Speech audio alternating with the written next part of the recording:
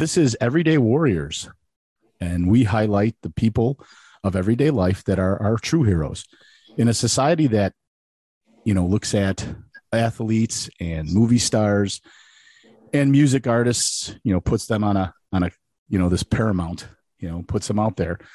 Uh, we tend to highlight the everyday heroes, our law enforcement professionals, our firefighters, our EMS workers, our educators, special educators, parents of special needs children, Special Olympics volunteers, Special Olympics athletes, those kind of people. Those are the real heroes of every day. And I am Dr. Danny McGuire, your host. I am the program director and department chair for criminal justice and public safety programs at Calumet College of St. Joseph in Whiting, Indiana, where we specialize in educating public safety professionals in accelerated format to help them earn undergraduate and graduate degrees. I'm also the owner of ADL Wellness Solutions that provides training, education, and general wellness coaching for first responders, as well as an intern therapist at the Center for New Pathways in Schaumburg, Illinois. Today, we are talking to Officer Jeff. Officer Jeff is a Chicago police officer, a veteran Chicago police officer who has spent many years in law enforcement and is a hero of every day. So, Jeff, thanks for joining us. Thanks for having me, Danny. Jeff, why don't you tell our listeners a little bit about yourself? Um, tell us about, you know, your job, how you when you started, how long you've been doing it, um, that sort of thing. Uh, I started in the um, I started my law enforcement career in the uh, south suburbs in uh, 2013.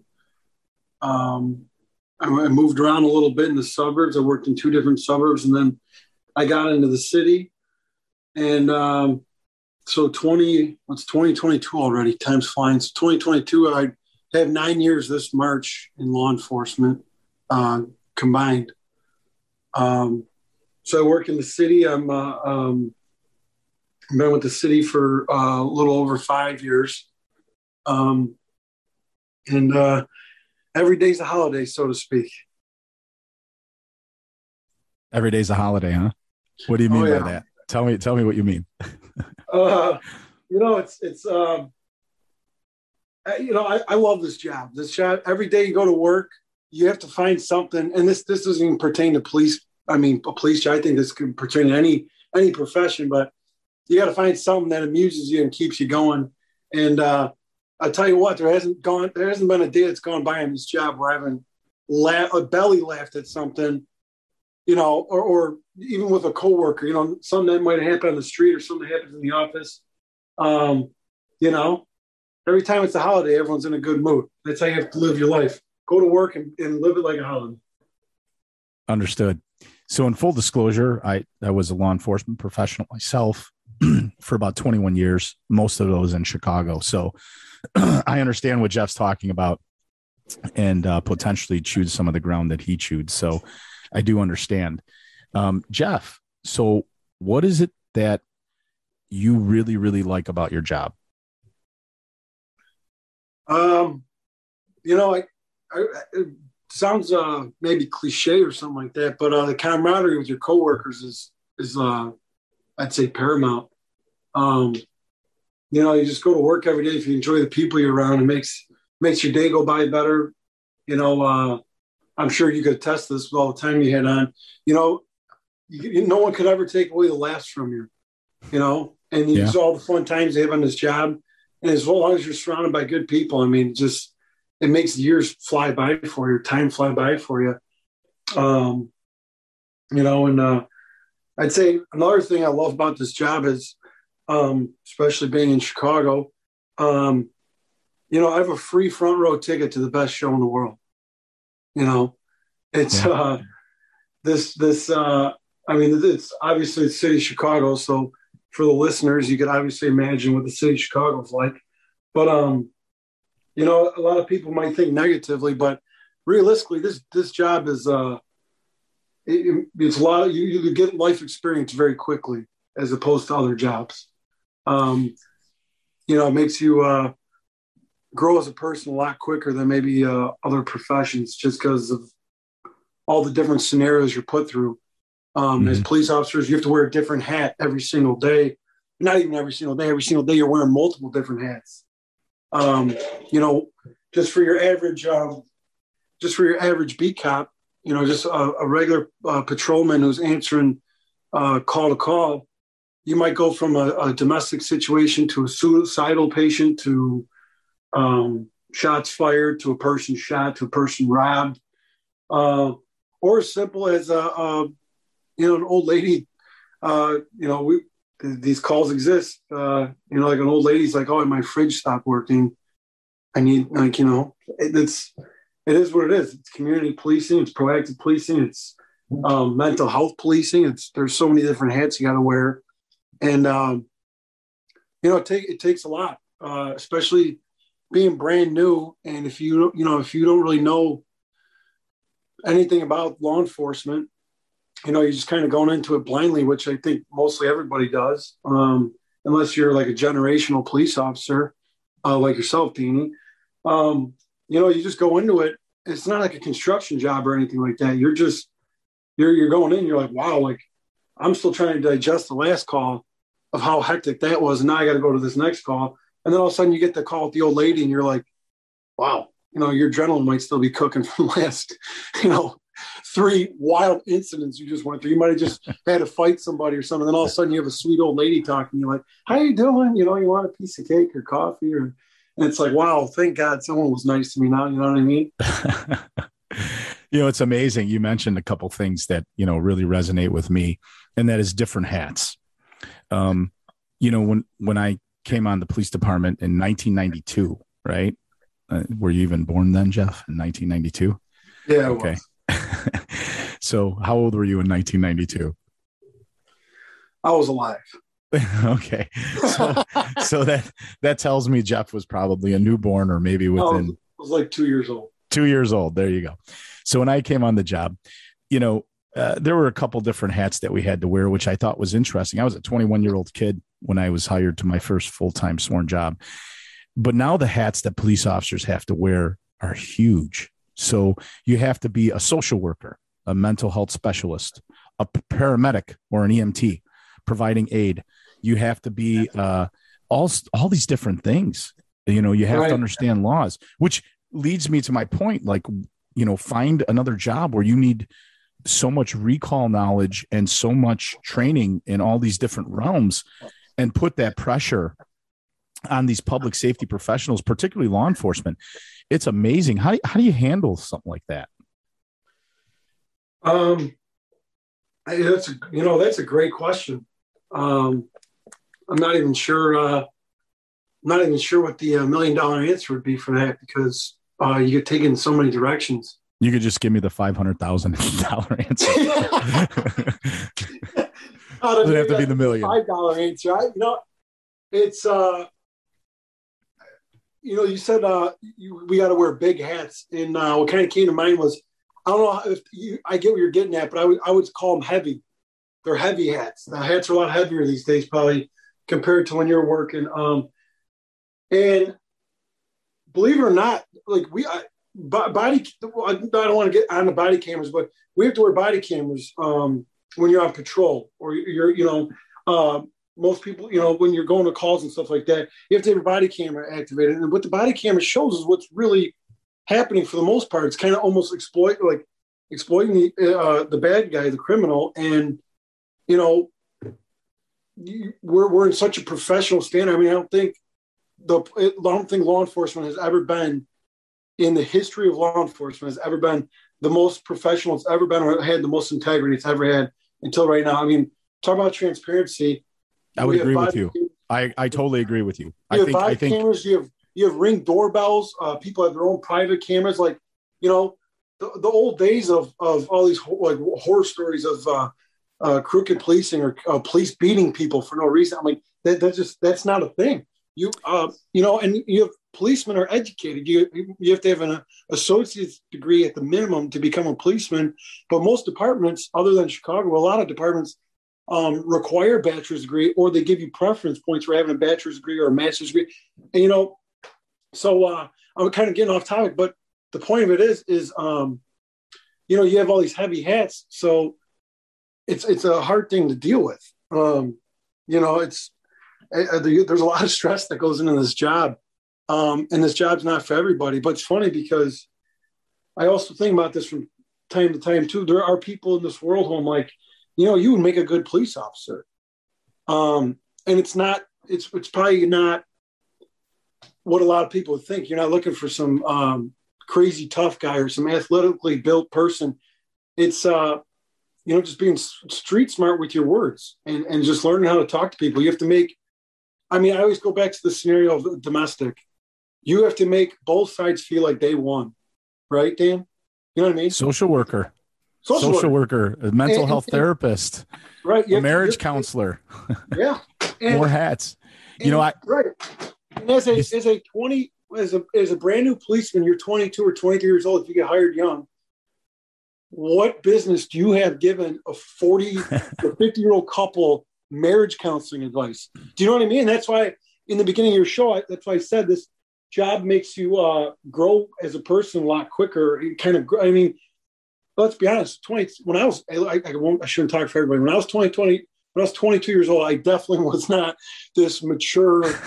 uh, I'm still not. You know what I mean? You're definitely a lot more immature. You're kind of in that college party atmosphere, and then all of a sudden, boom, you get your first uh, uh, maybe not your first career, but um, you jump into the law enforcement career, and then all of a sudden you're put into this like, oh my god, I'm actually like being called upon to solve people's problems. You know what I mean? And you're, you're not. I know solve, exactly what you mean. You're not going to solve years of arguments in a in a ten minute call, but um, you have to be ready for that, and you got to kind of make stuff up on on on the spot. And and I don't mean uh, that you're flat out lying, but you know what I mean? Like you have to make both sides feel like they won. Just well, you have you have to sure convince them. To you, you have to. What I hear you saying, what I hear you saying is that you you when you're in these situations that you, you know, it's a high stress situation. You know, everything you learned about marriage counseling, you learned in the police academy, right? In right. probably like a four hour block, right?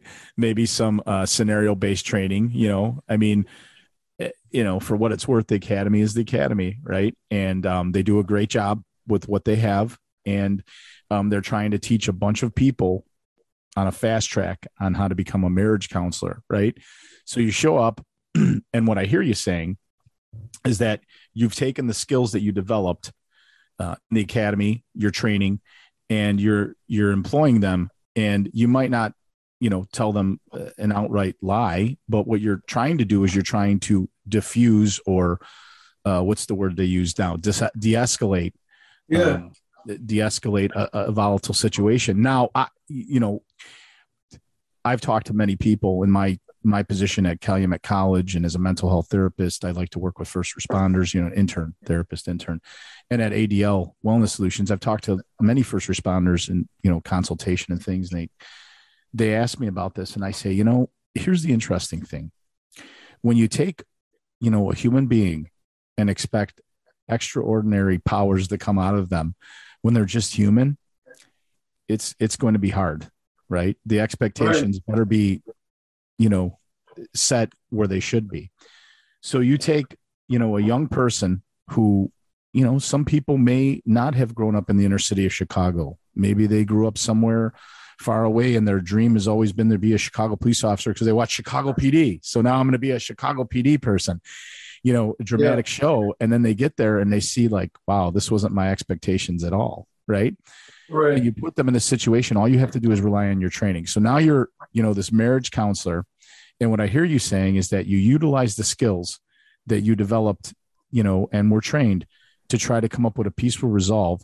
And the de-escalation thing i mean let's face it police officers have been using skills of de-escalation. Maybe they didn't call it de-escalation since the inception of police work right? They right. you know when you went to a bar fight in the 1800s or 1900s you just didn't i you know and i'm only speculating you know uh, patty o'reilly you know didn't show up going ah sh sh sh sh sh you know and hit you with a stick. He just kind of separated everybody to find out what was going on. I think that's kind of util- utilizing some de-escalation skills.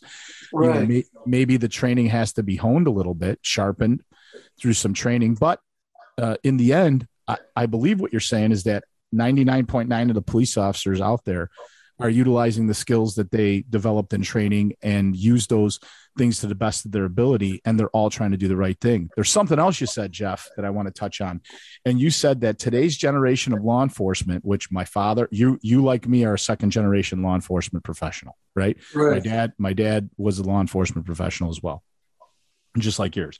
So in my generation was different than my father's generation but you're saying and and and i tend to agree because i'm educating the police officers at calumet college going back to school the generation of police officers now are probably the most professional that they've been in quite some time. It's all relative to what you've been trained in society's, you know, push for, uh, yeah. you know, policing. So um, I, I agree with that. I agree with that. So how how does how does you know how does Officer Jeff on a daily basis? How do you keep yourself with all these hats you have to wear? with all the things. And now I know you work narcotics. You work a lot of times in a covert capacity, and I started my career in narcotics, so I I understand what you're talking about. So, um, how do you keep yourself, you know, mentally well? I'm just curious because it's got to be very stressful. Because as we said, it's a lot different nowadays than it was in my time when you yeah. were two, when you were two years old. yeah. Um, I'd be honest with you. Uh, exercise.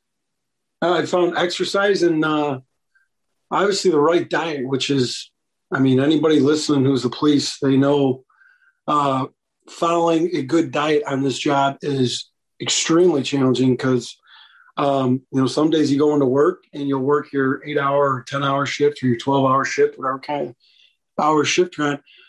That day may turn into a 19 hour day or 22 hour day. And it's, you know, three o'clock in the morning and you're eating whatever food is available for you, you know, or you know, you're drinking you're drinking a cup of coffee at midnight and then all of a sudden 6 a.m. still and you're still working on some kind of case or something big happened or you know, and now you're going to eat breakfast. You know, I mean, it's tough. It, it's um and you know it's definitely an easy art. I mean, it could be argued. Uh, well, you know, it's not hard to pack your lunch and pack food like this, but you know just as well as I do boss might tell you, hey, go grab something real quick and get back here. So it's like, well, grab something quick.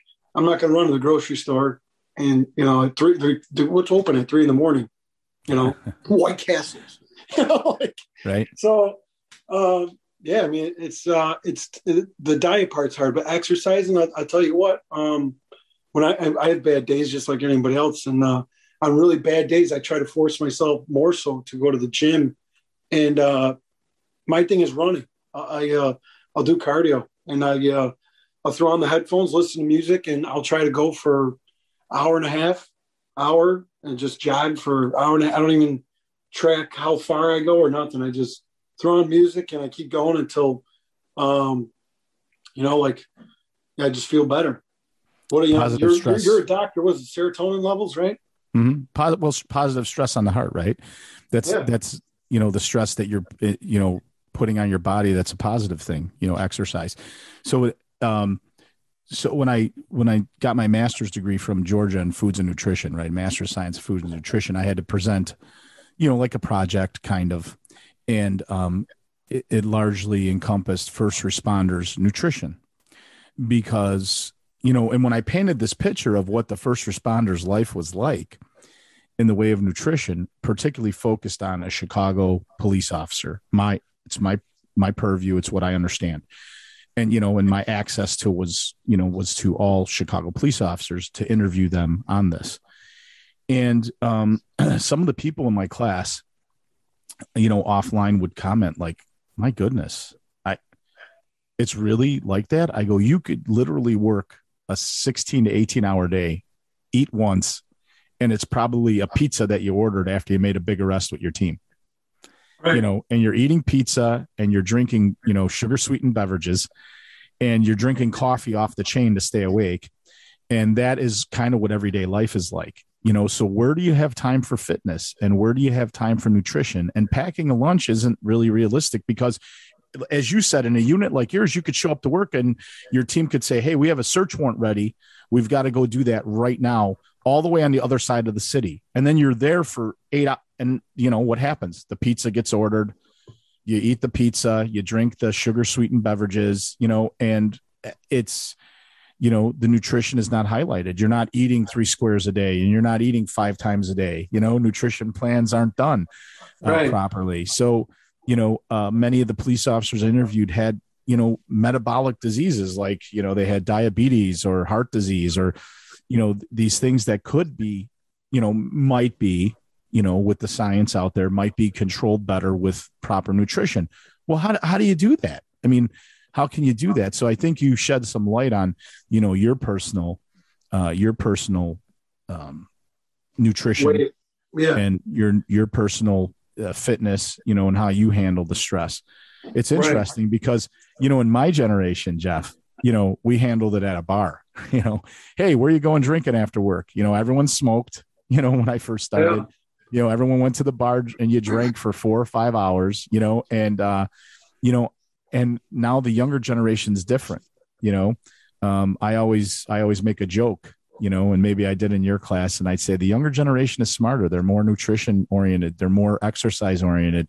In my generation we'd be like hey you know what bar are you going to? Now you ask them hey what bar are you going to? And they say uh, i'm going to run six miles. And you say well why would you want to run to the bar? I'll give you a ride in my car. You know i mean it's a joke but i mean it's true. So it all lends to say you know the officers in your generation you know are a little bit ahead of where we were you know? And i think it's because you know i want to say it's because of technology you know internet uh, social media um, and things of that nature. There's more information out there on it you know? Yeah. Uh, i remember i remember uh, having dial-up internet you know aol you know like yeah. and, you know you have that.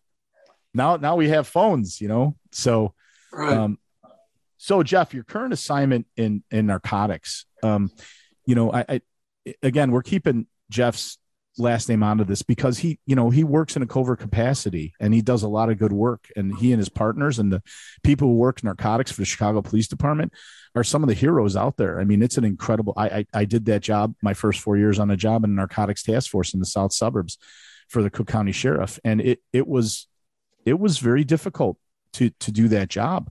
Um, yeah. So you know, kudos to you and and uh, your brothers and sisters and people who work uh, in narcotics. You know, I'm I'm proud of every one of you. So tell me what it's what that assignment is like. Um, it's uh, it's it's good. It's uh, it's better than the patrol, obviously. Um, not knocking patrol, but uh, patrol is the backbone of every police department. Patrol yeah, really the backbone. Is. I'll tell you what, I, I probably never laughed so hard in my life than when I was on patrol. Um, I'd say this is more serious what mm we do. Um, not that we don't laugh, but we're in patrol is a lot. I, I not better times were had, but definitely, yeah, you know, we laughed a lot more. But this is um, we go to work and we're going to work kind of thing. Um, so uh, I'm sure yeah. you see. I'm sure you see some um, could even from my perspective, you know, looking back to that time, I, I see a lot of uh, a lot of pain with people in narcotics. You know, a lot of people. Uh, you know, um, you look at someone who's who's selling these drugs. Uh, you know, I often would wonder, do they know what they're doing to somebody? You know, who's addicted to these things? I mean, what what's that like? Seeing the people who, you know, who are using these drugs, and and I mean, basically, you know, their lives are are are changing for a negative. I mean, is that hard to deal yeah. with? Um, it's funny because I always say it's like we're behind enemy lines um, when we're buying from these drug dealers and stuff. Uh, you know, walking down the street, and um, it's uh, it's incredible what you see when you're not wearing a police uniform, and, and they just think you're another citizen, or they think you're a hyper, a junkie, uh, like another customer to them. And uh, I'll tell you what, um, yeah, you could you could almost see like the progression in, in the people. Uh, you know, you'll see like a young kid going to buy heroin, which is mostly fentanyl. And I mean, we could talk about the heroin epidemic for a whole 60 minutes, but um, I mean, you could see like the younger kids, younger people buying heroin, and then you see like the middle aged person, then you see the old person, if you even make it to that old. And uh, what the, what those drugs do is just deteriorates your deteriorates your body. Um, I mean, it's incredible. It's incredible how physically physically addicted people are to uh, opioids, especially. I mean, there's mm-hmm. crack and cocaine out there. I get that, but uh, um, the opioid the opioid epidemic is incredible. Um, you know, people are dropping like flies left and right.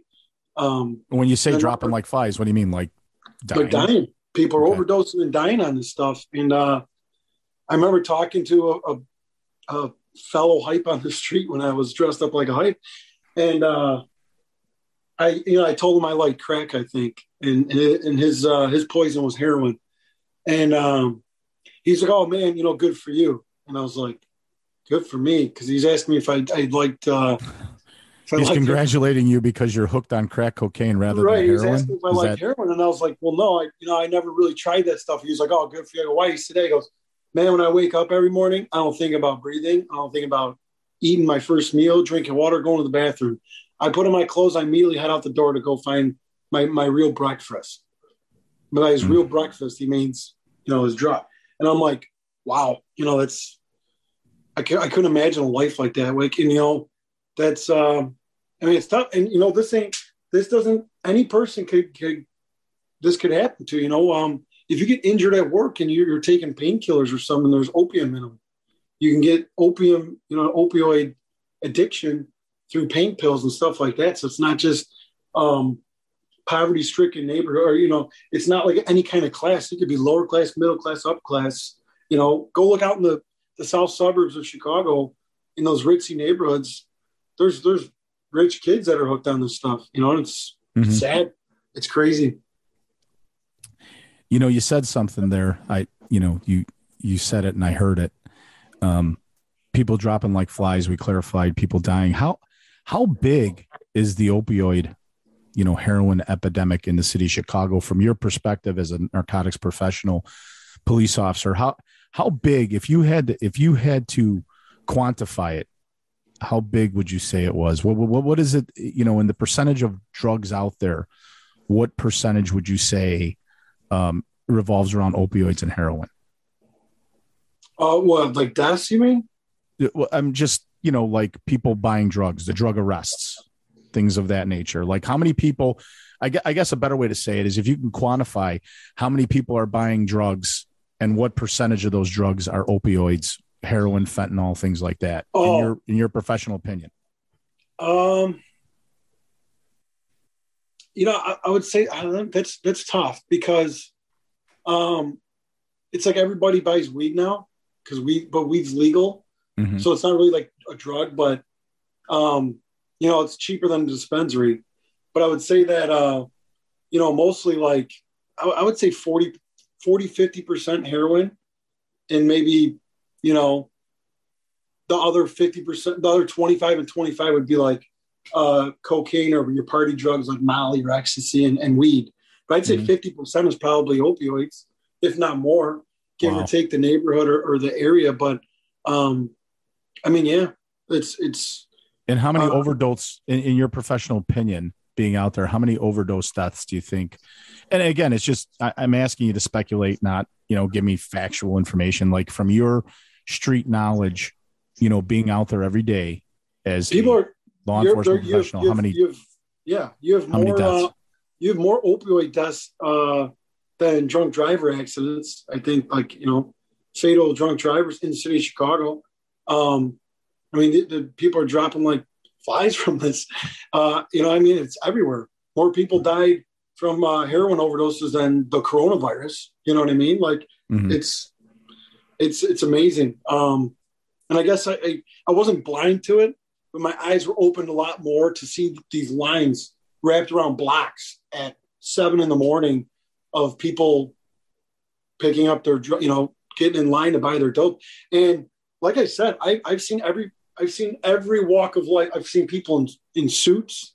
Uh, you know, I've seen medical staff. I've seen, you know, people in business attire buying, you know, everyone's out there buying. It's, it's not just, uh, you know, some homeless guy that's begging for change on the corner. These are everyday people that are going to buy uh, drugs, and it's uh, not much is said about it in the news. You know what I mean? Uh, it's amazing what gets covered and what doesn't. You know, right? Well, that's that's a whole topic. For that's a whole show. different. Yeah, we'll, yeah. we'll need another sixty minute show for that. Right. Maybe that's a whole. Time. That's a bird yeah. of a different feather.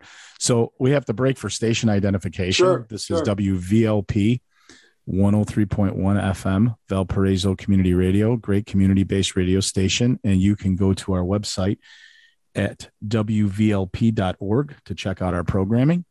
Uh, this is Everyday Warriors. I am your host, Danny McGuire, and we have our guest, Officer Jeff, veteran Chicago police officer and narcotics officer for the Chicago Police Department. Um, Jeff, j- just to change a little direction here, I, you know, in I think the true veterans might be upset that you're calling me a veteran.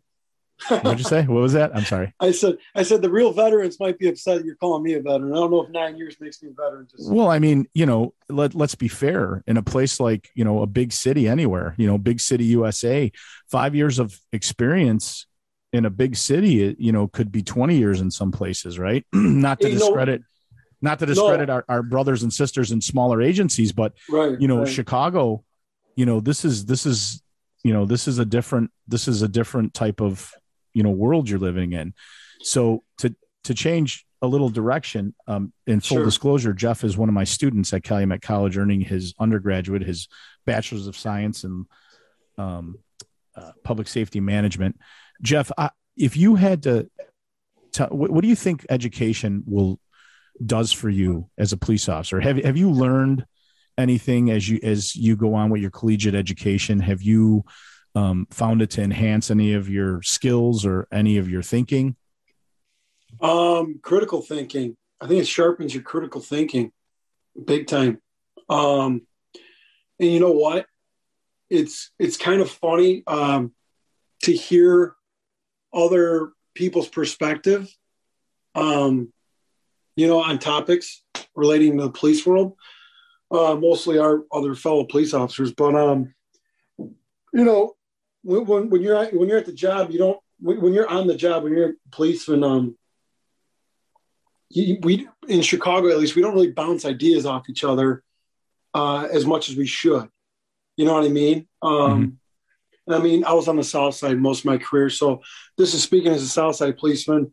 Um, you know, when you get done with a call, you're like, yeah, whatever. And if it went bad, it went good. Either way, it's just like, wow, that was a wild one, or oh, that was good. You know, thank God that that was whatever. But you never like, how do you think we handle? Let's like debrief how we did this. It was just like, no, let's you know, let's go grab a cup of coffee. Let's go get food, or you know, what, what bar are we going to tonight? You know, you're not thinking about how you. But now when you're in a school setting, and your your instructor gives you, hey, uh, speak on this topic or speak on that topic, you're like, wow, you know, it's you never really gave it thought. Now we're all kind of talking, and I think in certain aspects, it's made me a better policeman. I'm like, oh, you know, I never thought of it that way uh, that kind of works. Or on the flip side, you might hear someone talking negatively, and you're like, wow, that guy kind of sound, or that guy or girl, or you know, whoever they may be, um, you know, they kind of sound um, idiotic the way they're speaking. Like, you know, mm-hmm. I want, I, what, do I sound like that when I speak negative? You know, it's like it almost kind of wakes you up. Like, maybe kind of bury that off to the side, and you know, mm-hmm. try to look at a positive light, which. Mm-hmm. In today's world, it's a tough thing to do, but um, you know, I mean, it's it's what you got to do to keep going. I, you know, I, I, I watched a special on unfortunately police suicide. Right, I teach a wellness course at the college, so one of the one of the topics that we cover is police suicide, and there's you know some decent information out there. And I was watching a video, and there was uh, a gentleman who was a chaplain with one of the police departments, a larger police department, and he said this, and I've always thought this since I since I became a police officer. He says police officers show up to you know domestics, car crashes, homicides, and you're going call to call to call, right? You're not even taking a second to debrief what happens. Right. Then you're supposed to just show up at home to have a relationship, you know, and, he, and as he put it, you know, you show up and you're like, Hey, honey, I'm home.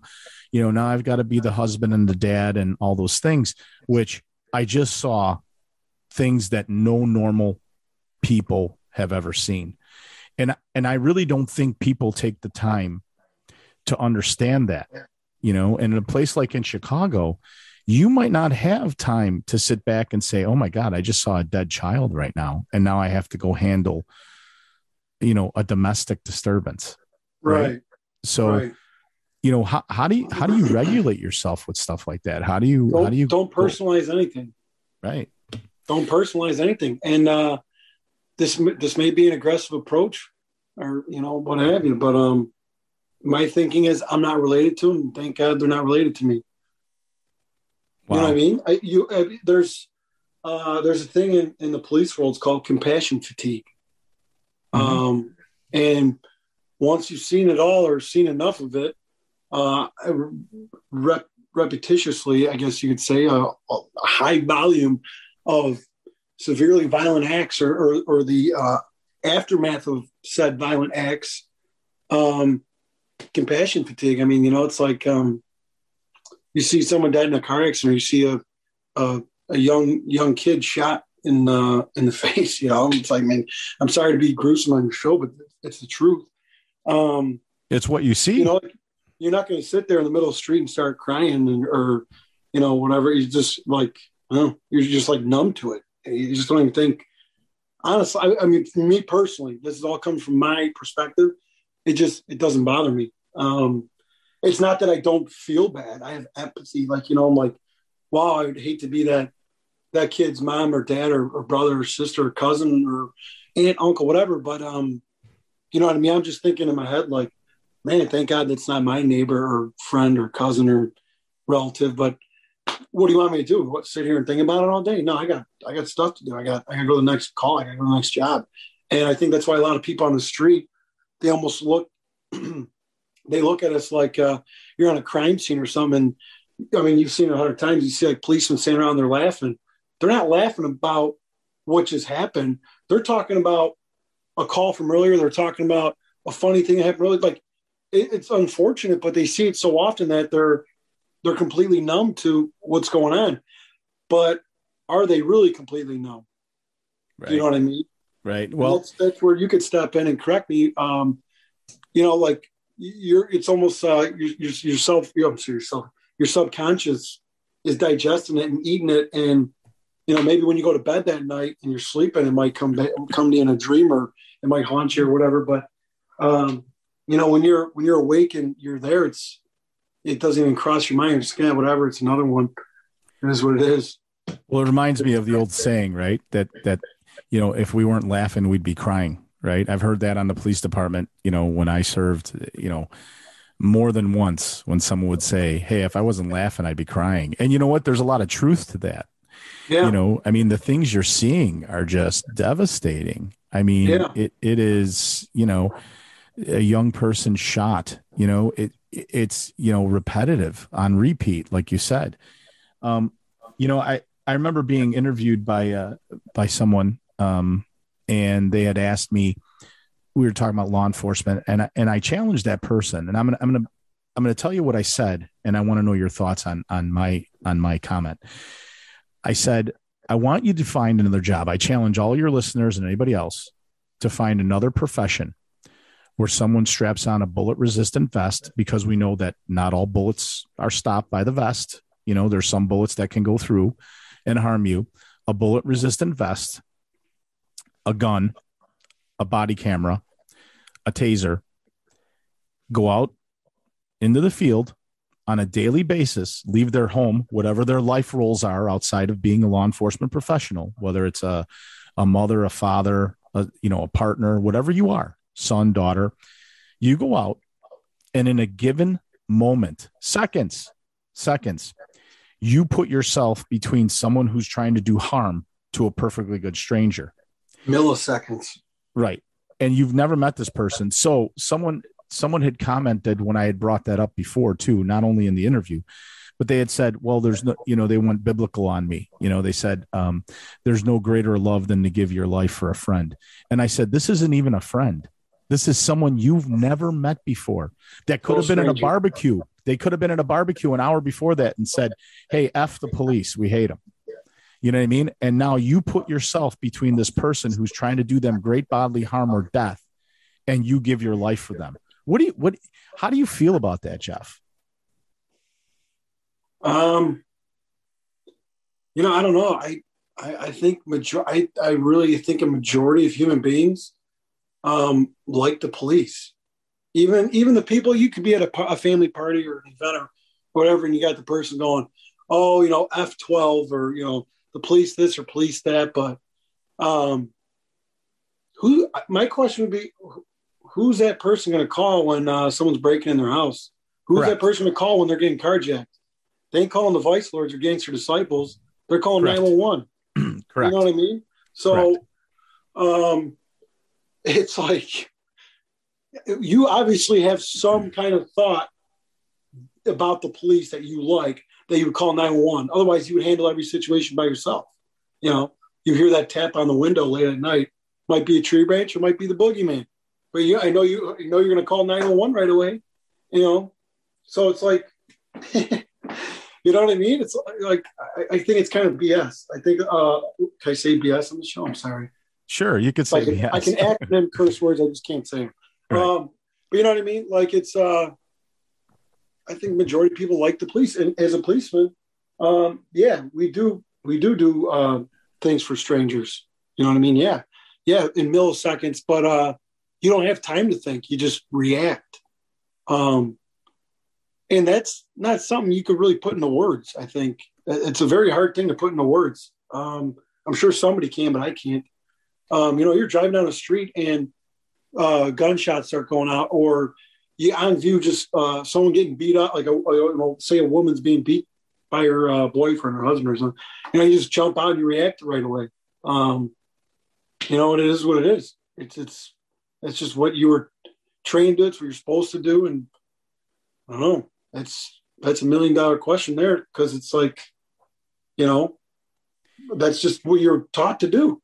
It's what you're trained to do. So, and everyone else around you is doing it. So it's almost like, um, it's passed down from office, veteran officer to rookie officer. You know, you you watch what they do and you follow, you know, what's been done for years. Well, it it you know you you mentioned it in your commentary, and and you know you rely on your training. So that's where training and effective training is vital, right? Because I, I remember, which we Uh, don't get enough of, by the way. well, you know, uh, I, I remember being on on uh, my, one of my assignments on the police department, and I would pay out of pocket for training, and people would, you know, get on me going, "Well, if they wanted you to have that training, they would pay for it themselves." Well, you know, we didn't have budget for training, so I paid out of pocket, you know, a thousand here, two thousand there, uh, a couple hundred here, a couple hundred there to go to certain trainings to prepare myself to handle situations and that's where training's vital. And then then you know i remember having a discussion and maybe you've had this you know uh, someone said any training is good training. And i said good training is good training right? Good education is good at you know good education. Yeah, right, right? Right. and it, the education that you learn on the streets of a place like chicago um, is is pretty vast and quick it's fast it's like drinking from a fire hydrant i mean Yeah, you know, go back to your first day on the job out of the police academy. How many calls would you say you answered? First day. you talking about Chicago or you talking about Yeah. Chicago. Chicago. How many calls did I answer? Mm-hmm. I In your eight hour shift. no idea. Way more than twelve, more than fifteen. So more Um, than you know, more than a call an hour. More than a call an hour. Oh God, by far, yeah. I remember. Uh, I remember one. I remember my. I remember my very first call on the job, um, on the, on the Chicago Police Department. I came from the suburbs, and um, suburb policing is different than city policing. It just it is what it is. Um, and I, we went to a domestic call. We got. We walked up, and everybody is fist fighting. Everybody is intoxicated on Your first call. alcohol. Your first call. Fir- First call. So they didn't um, like they didn't wait a minute. They didn't like spoon feed you like here, we're not going to give you like a really bad call first. We're going to give you, you know, the, like you said, Right, the old lady calling right, about the refrigerator right. not working. They're just Yeah. giving you the fire hydrant full on. Wham! Here it is. Well, well, let me ask this: Who's they? Who's they? The, the police department. I mean, you know, the police department. they- you know, they, they don't have that power. your It's here. expectations, right? Here's your car. Here's your training officer, and he's going to show you what to do. Yeah, this ain't like uh, you know, if you're you're in some kind of construction gig, they're like, yeah, hey guy, uh, take the broom and mop all the stuff up uh, after we're done doing our job. Because I work construction for the police, and that was that was what you didn't you didn't start the job, and you're all of a sudden operating the crane or you're not up on a ladder uh, doing the main job. Hey, you're sweeping up the, the ground stuff. On this job, they they feed you to wolves, so to speak. Yeah. Um, So yeah, tell, tell me about call- that first call. You show up, it's domestic, everyone's fighting. up, uh, yeah, this uh, this girl, she's uh, in her early twenties. Um, her one eye is completely shut closed because she's beaten. Her lip is busted open. Um, she's dripping blood all over the place. Uncles are fist fighting. They're arguing, and I'm going, "Well, who, who- called?" And uh, she goes, "Are you going to get him or not?" I'm like, "Kid, who?" She goes, "My boyfriend and beat me up." I'm like, "Well, which one is it?" And she goes, "He ran out the back door." I go, "Why are those two guys fighting?" He goes, "Oh, those are my uncles. They're just drunk. They always fight." And, and these, these two uh, these two guys are going at it, and she's like, "No, we didn't call about them. I called about this." And then across the street, some naked lady comes running across the street, and this is this is true story. Middle of summer, it's 4 p.m., broad daylight. Naked lady's just like, "Oh, my husband just raped me." So now I'm like, "Well, which call do we?" Which call do we do? Like, do we take care of this lady who just claimed she was raped?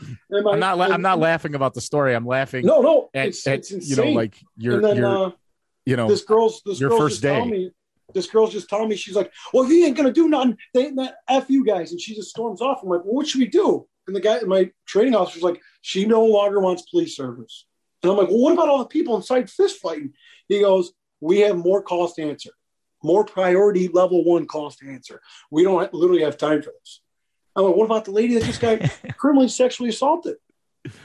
Well, you know, we'll, we'll get back to her because she's not actively being. She said it happened two days ago. I'm like, well, Wow. why is she naked? Well, I don't know. It's this is the ghetto. This it happens. You're like, what? let's move you on know? to the next call. Move on to the next call. Do we have a person shot around the corner. We have to go to that. That is priority one. We need to go render aid and do this and find out who shot the person. But I'm like, wow, this is this is a lot to digest. This is the first call, and I mean, don't get me wrong, too.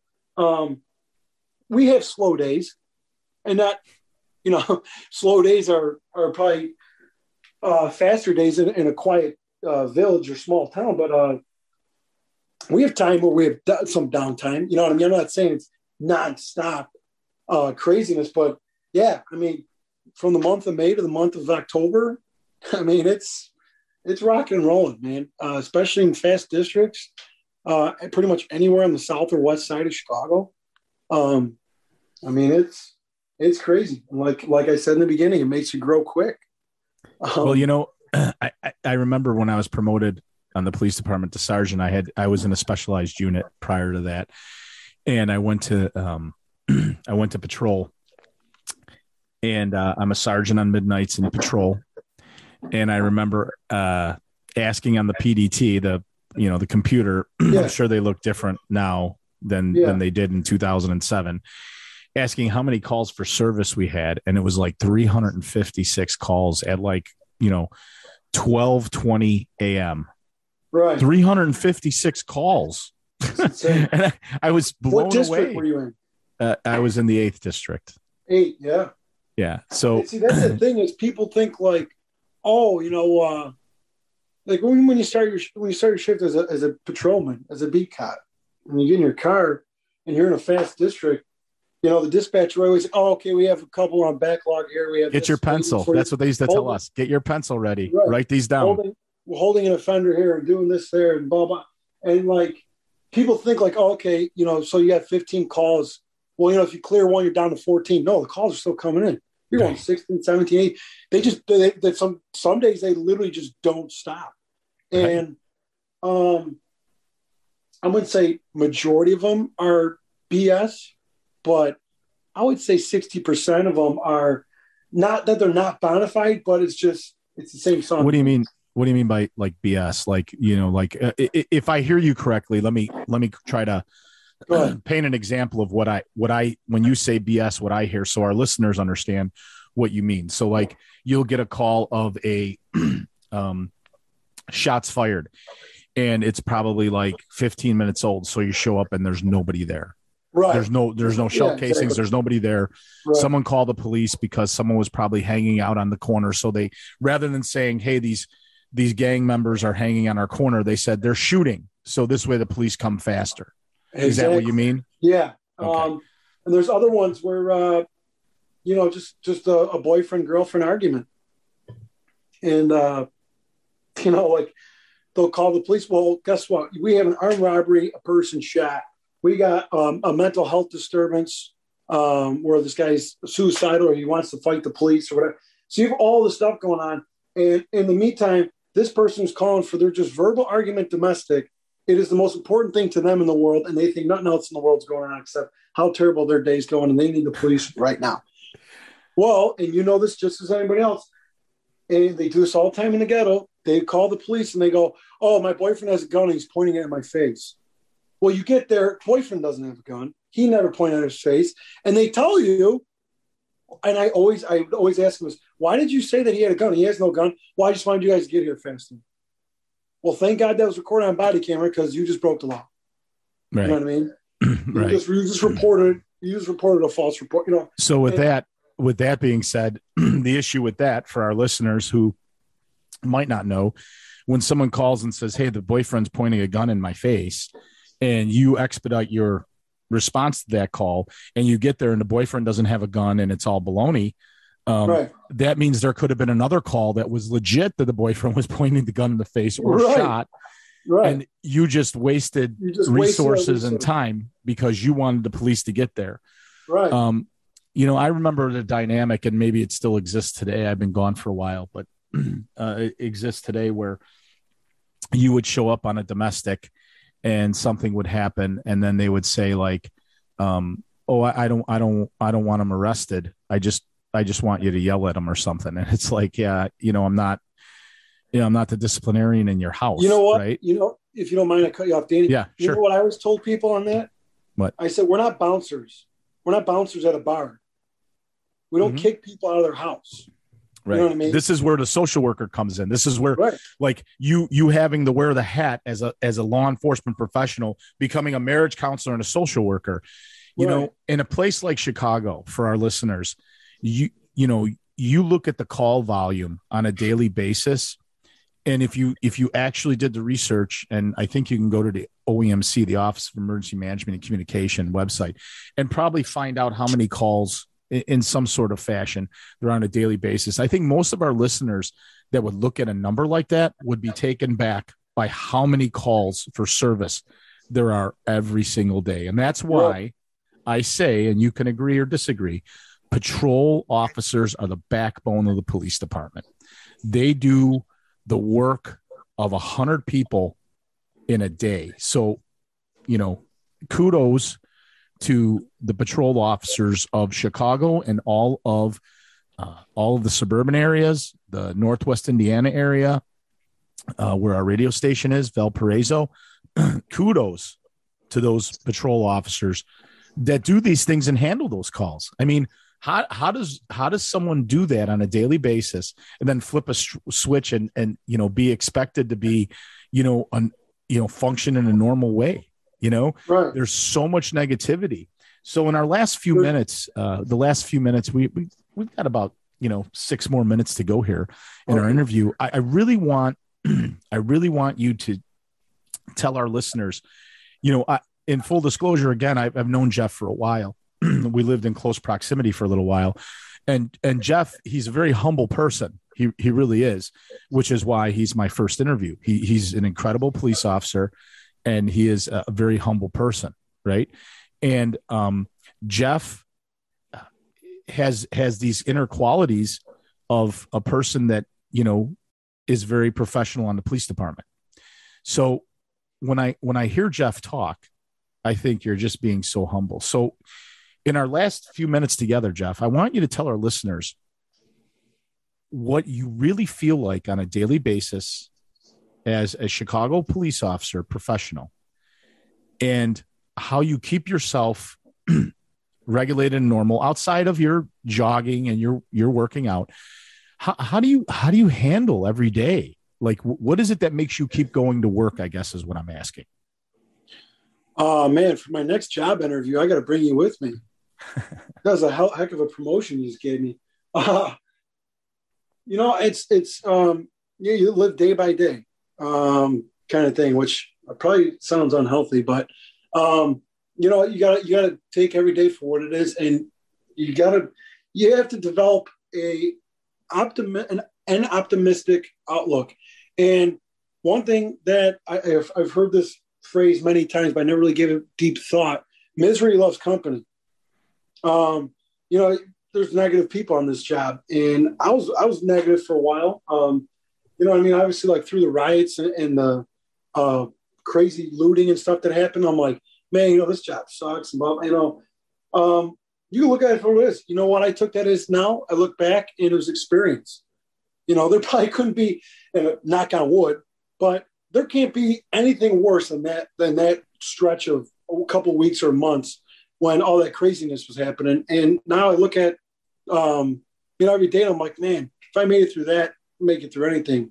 And most officers, uh, you know, a majority of Chicago police officers all went through that. They all saw it. Because some of the crazy states, and you know what? More importantly, citizens saw us go through that. And um, people that lived in these neighborhoods uh, in Chicago, or, or people that were downtown and saw it, or whatever, you know, they saw this going on. They're like, man, and I know it deep down. They're like, man, thank God we have the police here.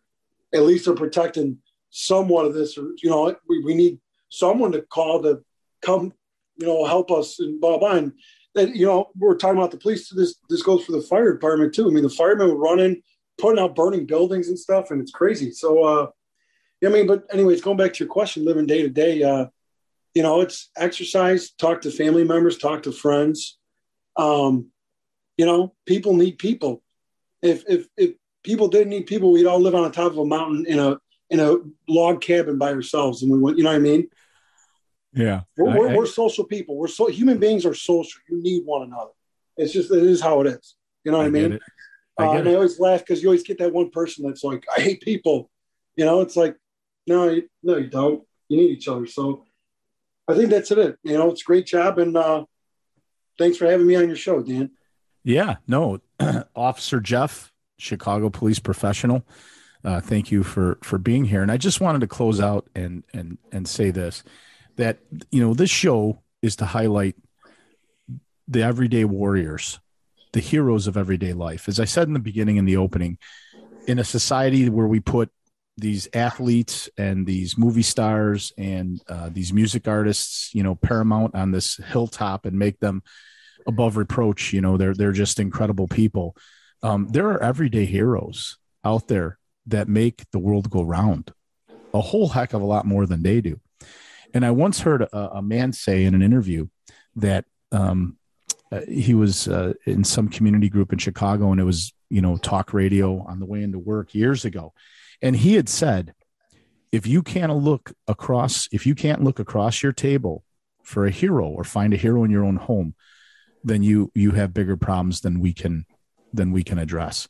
So, you know that is that is a very very true statement. And you know, Officer Jeff is is a real hero, and there are several thousand real heroes out there every day. Uh, not just law enforcement, but you know, in other aspects. There's parents every day. You know, I have a special needs adult son uh, that I that I care for, and uh, you know that in itself is is difficult and i see other parents that he does special olympics and special rec activities with those people who work in those programs are heroes uh, you know for me a lot more than maybe someone who you know throws around a ball or you know sings a song or maybe makes a movie for me that's a that's a real hero and i think for most of our listeners uh, Officer Jeff, you you are a hero. So thanks for being with us today. Thanks for having me, Danny. Appreciate it. And this is WVLP, Valparaiso Community Radio. Uh, you can go to our website at wvlp.org to look at our programming. And I am Dr. Danny McGuire from Calumet College of St. Joseph, Program Director and Department Chair for Criminal Justice and Public Safety, as well as owner of ADL Wellness Solution and therapy intern at Center for New Pathways in Schaumburg, Illinois. And you have listened to Everyday Warriors. Thank you, everyone, for listening, and catch us next week when we interview Detective Marcus Shepard from the Chicago Police Department, financial crimes detective, who will talk to us a little bit about financial crimes and what that looks like in the city of Chicago. So, everyone, have a great day, and we'll see you next week.